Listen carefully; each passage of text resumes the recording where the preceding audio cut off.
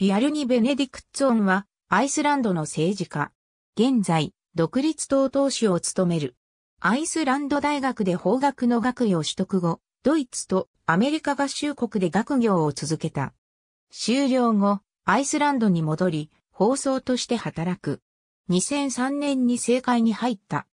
2013年4月28日の総選挙で自身が党首を務める独立党は議席を大きく回復、進歩党と連立政権樹立で合意した。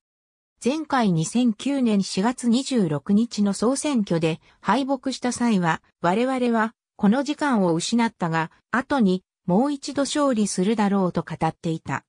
その後、独立党は2016年の選挙で21議席を獲得し、進歩党は8議席を獲得した。この結果を受け、進歩党所属のシーグルズルインギ・ヨーハンソン首相は辞任した。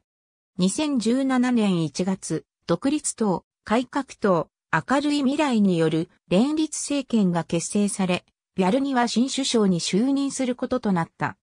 しかしビャルニの父親が有罪判決を受けた小児性愛の元受刑者の名誉回復を求める推薦状に署名していたことが判明し、同年9月16日に退陣を表明、10月29日の総選挙で独立党は16議席を獲得し、第1党を守ったものの前回の21議席から減らした。